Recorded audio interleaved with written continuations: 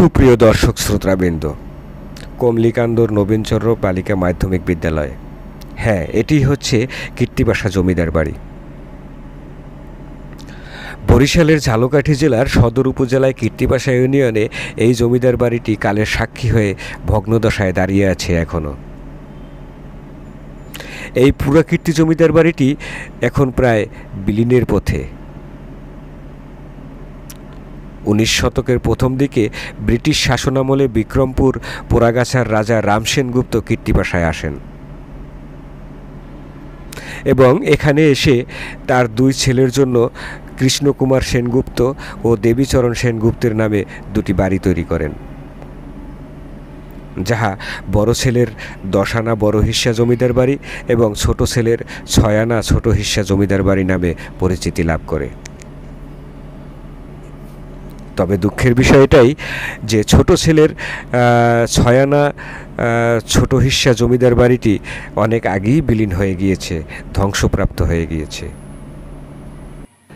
এবং বড় ছেলের দশ আনা বড় হিস্সা জমিদার বাড়ির কিছু অংশে কমলিকান্দর নবীনচন্দ্র বালিকা মাধ্যমিক বিদ্যালয় প্রতিষ্ঠা করায় কিছুটা ঐতিহ্য এখনও বহন করে আছে।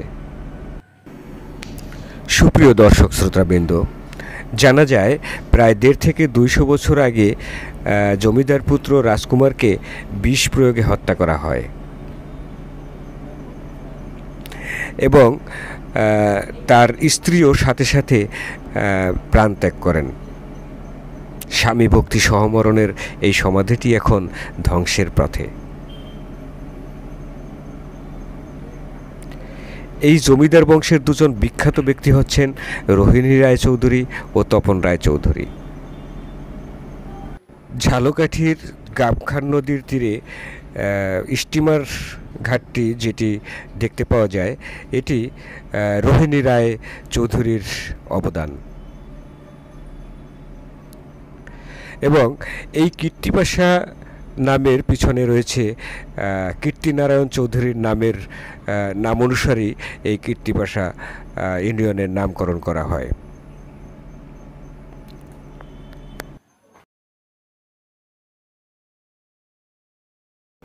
প্রতি বছর হাজারো পর্যটক এখানে এসে এর নির্মাণশৈলী এবং ঐতিহ্য দেখে মুগ্ধ হন।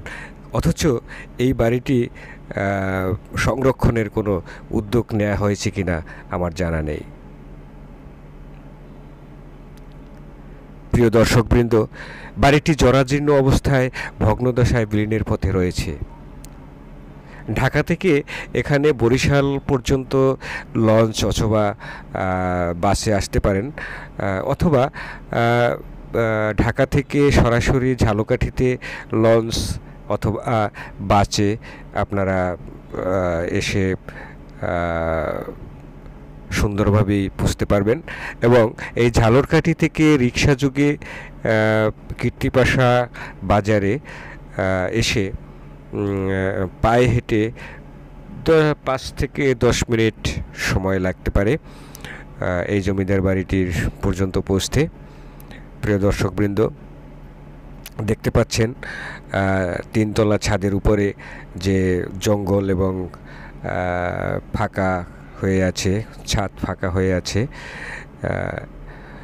তো এখানে জমিদার বাড়ির ছাদের উপরে যদি আপনারা চলাফেরা করেন, এভাবে একটু সাবধানে চলাফেরা করতে হবে এবং মনে হবে যেন কোনো এক গভীর অরণ্যে প্রবেশ করেছি।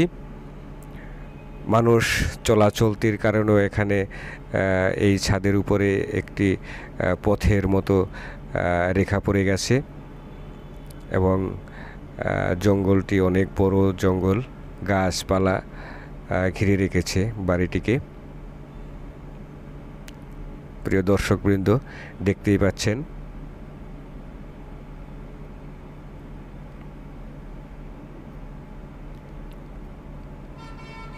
প্রিয় দর্শকবৃন্দ, এই বাড়ির সামনেই রয়েছে একটি পুকুর, জমিদার বাড়ির এই পুকুর। পুকুরটিও প্রায় বিলীনের পথে। প্রিয় দর্শকবৃন্দ, ভিডিওটি যদি আপনাদের ভালো লাগে, লাইক করবেন, শেয়ার করবেন এবং নিত্য নতুন কিছু জানার জন্য আমাদের চ্যানেলটি সাবস্ক্রাইব করবেন। সুস্থ থাকুন, ভালো থাকুন।